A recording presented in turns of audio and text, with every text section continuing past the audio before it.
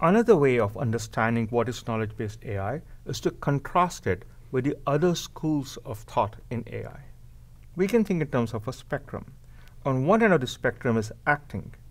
The other end of the spectrum is thinking. As an example, when you're driving a car, you're acting on the world. But when you are planning what route to take, you're thinking about the world. Here is a second dimension for distinguishing between different schools of thought of AI.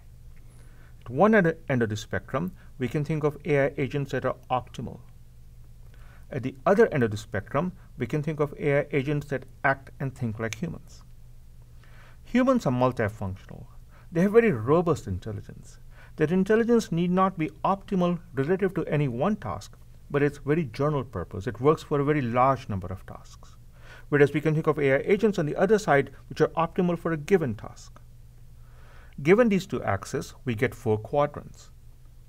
Starting from the top left and going counterclockwise, here are agents that think optimally, agents that act optimally, agents that act like humans, and agents that think like humans.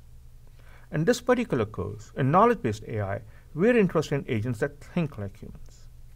Let us take a few examples to make sure that we understand these four quadrants well.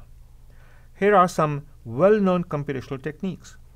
Consider many machine learning algorithms. These algorithms analyze large amounts of data and determine patterns of regularity in that data. Well, I might think of them as being in the top left quadrant. They're certainly doing thinking, and they often are optimal, but they're not necessarily human-like. Airplane autopilots, they would go under acting optimally. They're certainly acting in the world, and you want them to act optimally. Improvisational robots that can perhaps dance to the music that you play, they're acting and they're behaving like humans, dancing to some music. Semantic web, a new generation of web technologies in which the web understands the various pages and information on it. I might put that under thinking like humans. They're thinking, not acting in the world, and it's much more like humans than, let's say, some of the other computational techniques here.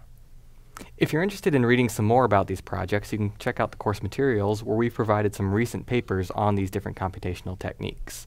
There's a lot of cutting edge research going on here at Georgia Tech and elsewhere on these different technologies. And if you really are interested in this, this is something where we're always looking for contributors.